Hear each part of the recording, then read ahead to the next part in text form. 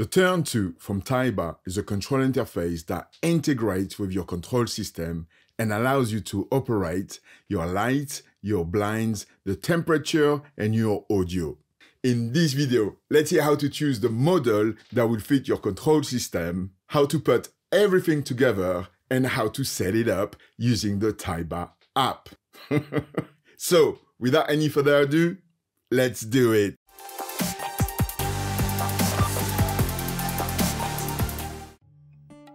Basically, the Turn 2 is a control interface that sits between a keypad and a touch panel. It goes in place where you will need a bit more control than what a regular keypad would offer, without going to the extent of using a full touch panel. It is very easy and pleasant I would say to use. You can swipe through its different screens to access different functions and operate it using the ring here. This device, with a sleek and elegant design, will fit very well in your living area, your kitchen, your master bedroom, or even your home office.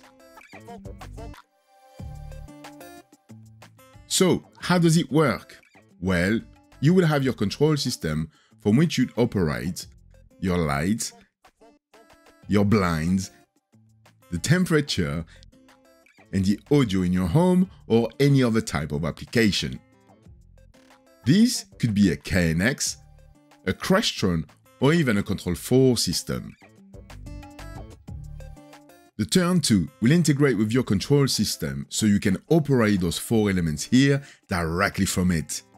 To do so, each control system will require its own type of Turn 2 driver to activate this integration. And you can find a list of drivers available with their links in the comment section below. Now, Check this out. Apart from colors and finishes, the Turn 2 is always the same. But you will have to choose the bus connector to which it is mounted onto that matches the control system you want to integrate it with.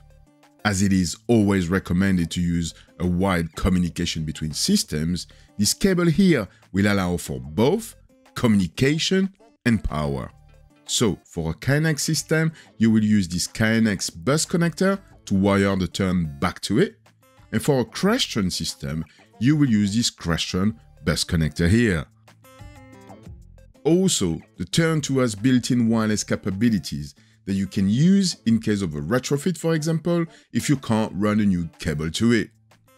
In this case, you will use this power DC bus connector for power only when integration is done wirelessly. Currently, you will have to use this power-only plate for integration with Control 4, for example. And there will be some other type of bus connector coming soon, like an Ethernet one. So, stay tuned. Good. And if you enjoyed the video so far, make sure to give it a thumbs up and smash that subscribe button and share it with your crowd, as this will help the channel to continue making those type of tutorials. Thank you very much. The Turn 2 is great, easy to read from its 2.1 inches backlit high definition display with toughened glass and anti-fingerprint coating. It includes a motion sensor, so the turn wakes when you approach it. It also includes a temperature sensor. And with regards of wireless communication, it is Wi-Fi, Bluetooth, as well as iBeacon compatible, which is great. Now, let's see the Tyba demo kit I've got for you here today. And here is my brand new Turn 2.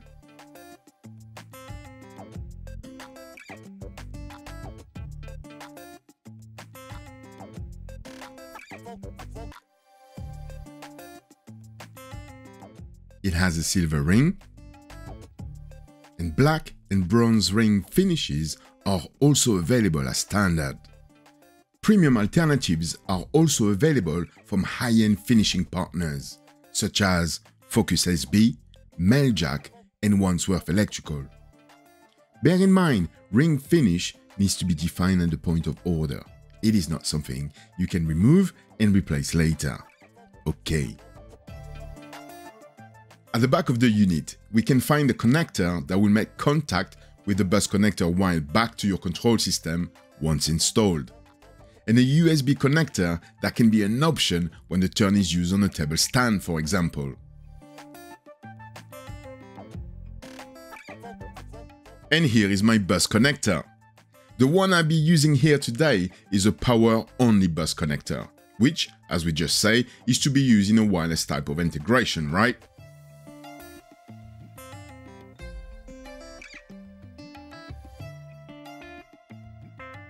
This is where the turn will make contact with the bus connector. And here, the various fixing points.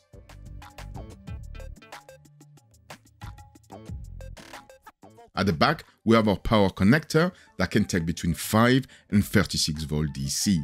And all around the connector, a series of very strong magnets that will hold the turn in place. okay. Today, I'll be mainly using this Tyba table stand to hold my turn too.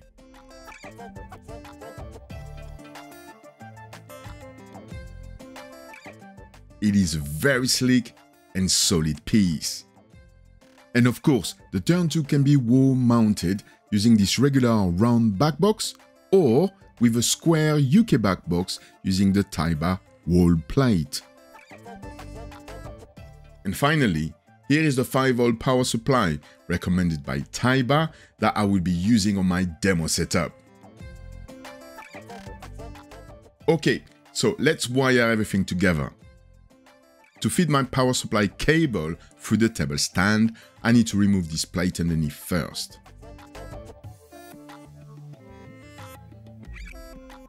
Next, I'm gonna cut off my power supply connector and prepare my cables. And the one with the dotted line is the plus. Okay, so let's push this cable through and screw the bottom plate back. Okay. Let's first remove those two screws here.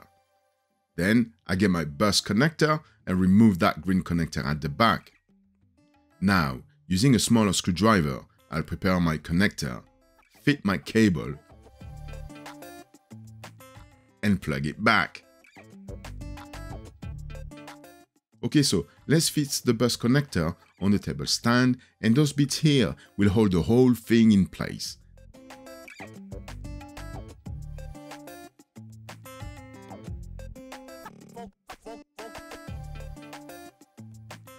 Nice. Next, I just need to get my turn 2. Et voila! Installation done! now, let me plug the thing and let it load up. First, I'll have to install the Tyba app on my phone. And of course, you can find it on the Apple App Store, as well as the Google Play Store. I launch the app and add device allow the app to find devices on my local network, and allow Tyba to access camera on my phone to scan the QR code on the turn 2.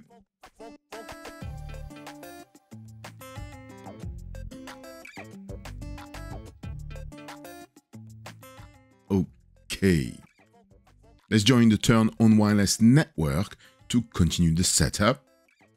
I'll name my turn to Adelux Studio now, I add the device to my own Wi-Fi network and enter my password. Okay. And my turn 2 has now been added to my Tyba app and I can complete its configuration.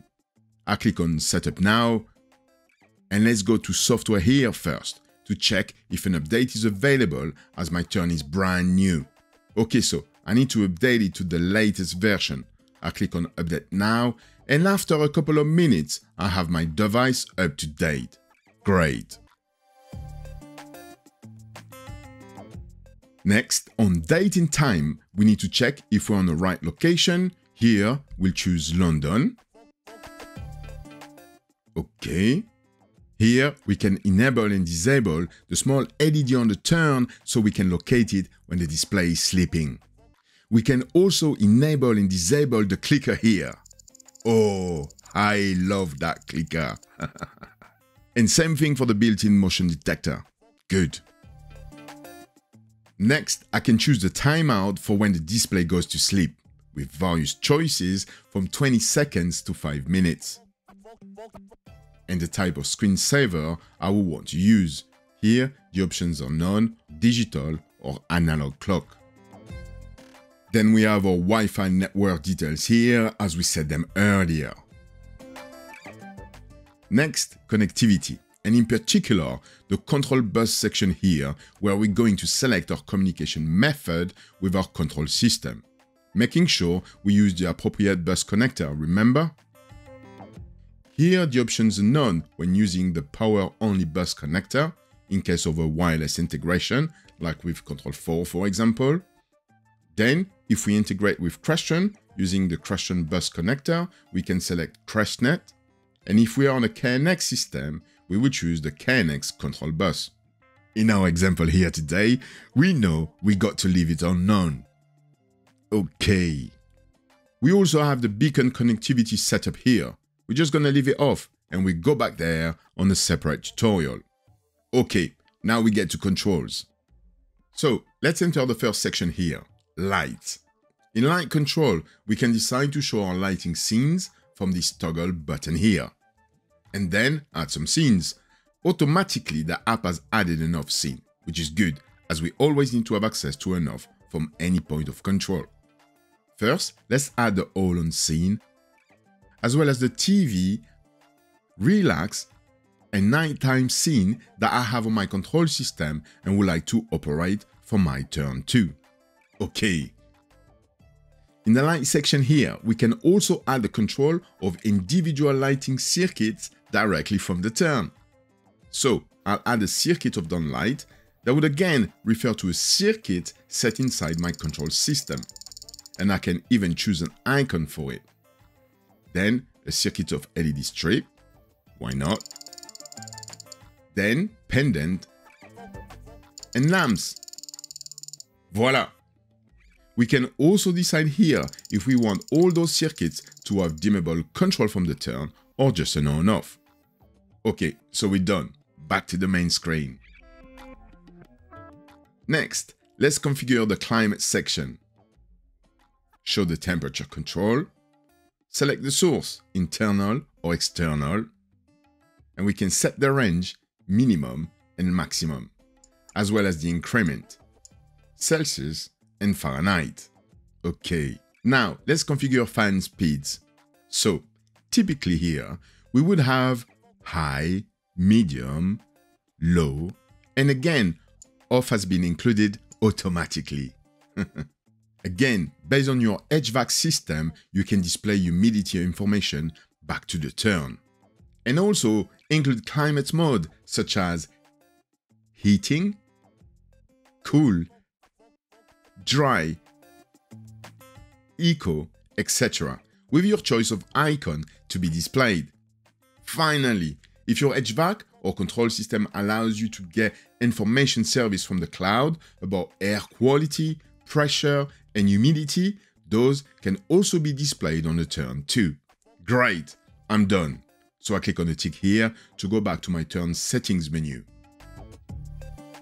Next, I've got my shades. And if I have any shade scenes, which are basically blind preset positions, I can add those here.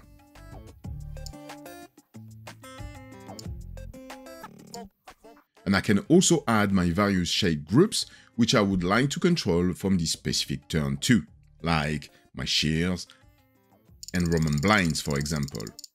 And I can select the icons I want to use for each. I can also specify if I need a basic open-close control from the turn, and this is what I will probably use if I operate basic AC blinds, for example, or position in case we use smart blinds that provide bidirectional communication with our control system. Great! And the last item I need to set up is media. Here is very straightforward. When we set to show media, this will give us the volume control, again on the selected source set on my control system. And if I want to allow the play, pause, next and back buttons, I will activate controls here. And that's it. I just finished to configure my tab turn 2. That was very easy. But before we leave the screen though, what I like to do is to rearrange those various items so I can access them on the turns display in the order that I want. Like for example, if I hold on to the lines here on my shades menu, I can slide it just behind my lights control here. Voila. And as you guessed it, I can also rearrange the content of those various sections as I'm doing here. And I can also rearrange the different settings within those menus to put in the top position the ones I wish to access first for everyday operation, for example. That is very convenient. We can also remove this turn from the app itself if needed, for whatever reason, and because our turn is set up, we will be able to find it again and re-add it to the app. However, if we reset the turn here, the config on the unit will be completely deleted and the turn back to default. So we really need to understand what we want to do here before using any of those buttons, I would say. Also, the very cool thing is that I can use the Tyba app to operate my turn as if I was manually using it. I can access my lights, blinds, temperature, and media from those icons here at the bottom. I can set my lighting scenes as well as my lighting circuits, position my blinds, set up the temperature, the fans, select modes, and control media. I can do everything the turn does, but from the app. And if my app and turn are showing the same screen at the same time, we can actually see that there is a live update between the two. That is very cool.